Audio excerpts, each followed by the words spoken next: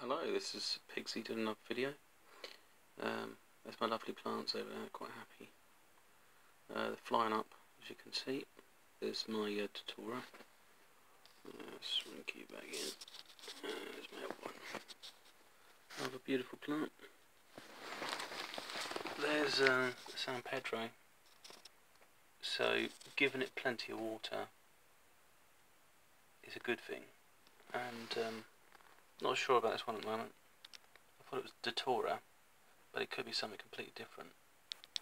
Um, like some purslane and possibly it could be um, some tobacco type plant.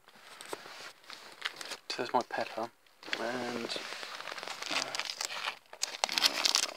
uh, my secret yet. So there we go, that was the, the, little one before, it was just like a little brown thing.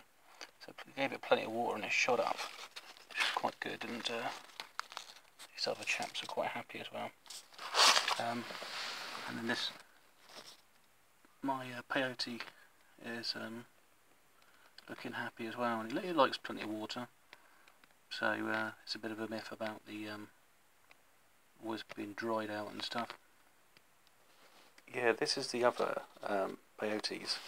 As you can see, it's got some um, some sort of fungus that's um, issue. So I've got an experiment to do. Um, that's another little a little delight as well. So zoom it out. These babies. So they've come from Lithuania, uh, perfectly legal. Amantia muscaria, and um,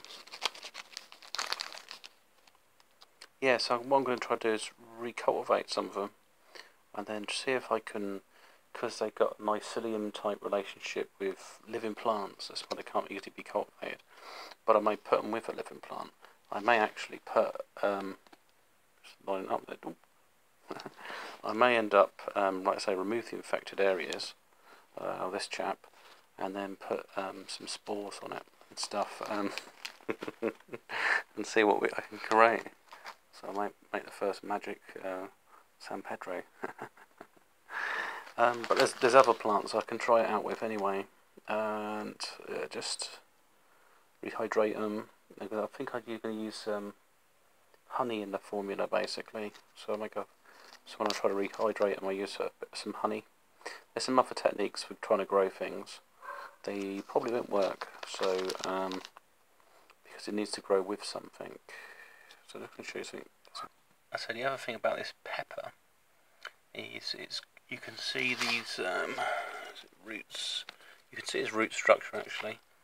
I could um, simply put the stuff around it straight in there, so it starts building a relationship. Uh, it might need some other, in essence, supplements or something that, that work with it because it uses it quite likes um, pine pine trees and things like that and it wants a lot of carbon.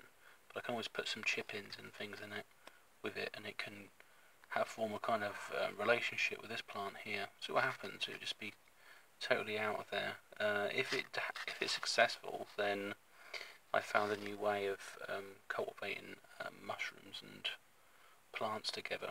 Because I mean if you see this chap here the little one right next to it is growing a lot faster than the one um, so then this chap here, so this one's growing a lot faster against that. Could be this different plant here, um, but it's got benefits from this plant. So um, so it's interesting. There's a lot of um, planty stuff um, there's always to learn about. And this this chap here is my uh, goji. So he's shooting up, he just needs a bit of organisation.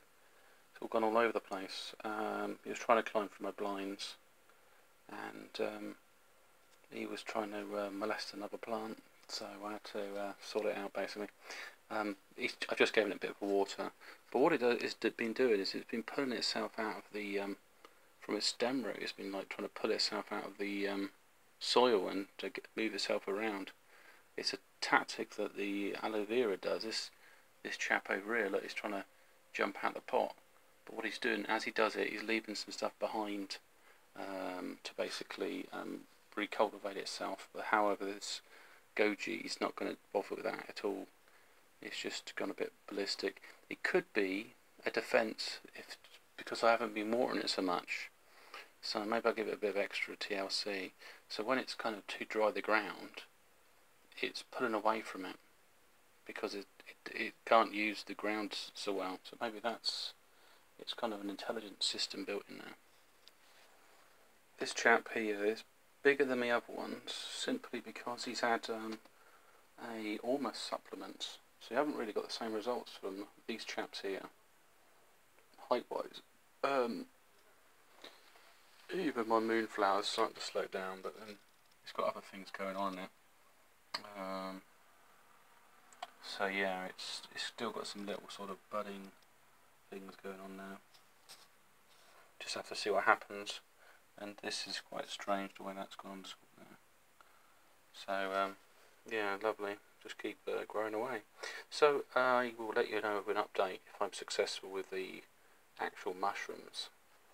That will be a very interesting experiment and uh, if so then it'd be great. And this is the um, only uh, sunflower we've been able to germinate in, in a bottle so it's um, starting to grow in now, it's a bit, bit different. So um, anyway this is uh, sign off and I hope you enjoyed the video.